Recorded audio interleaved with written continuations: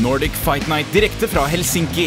Denne gangen er det fokus på Andreas Evensen og hans møte mot franske Philippe Frenois.